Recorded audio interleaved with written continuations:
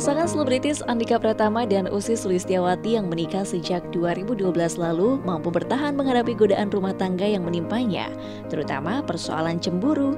Menurut Usi, suaminya itu termasuk sebagai orang yang sangat mencemburui dirinya. Pun begitu, Usi sendiri mengakui bahwa dirinya tak pernah mencemburui Andika lantaran kepercayaan yang selalu dijaga oleh suami tercintanya itu. Aku nggak cemburuan, Andika yang cemburuan malah bisa ditanya dia malah cemburuannya tuh suka agak-agak tidak masuk di akal gimana. Kalau aku mah nggak cemburuan ada orangnya. Tapi dia sendiri juga tidak ada hal yang bisa aku cemburuin sih. Buat apa dia juga baik-baik aja.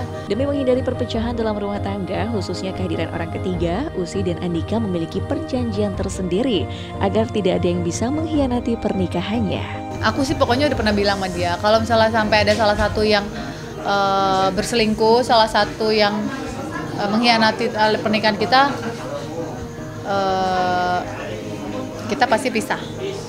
Itu ininya ancaman aku gitu. Jadi ya mungkin berdua jadi sama-sama nggak berani karena kita sayang sama anak-anak kita jadi kita nggak mau ada perpisahan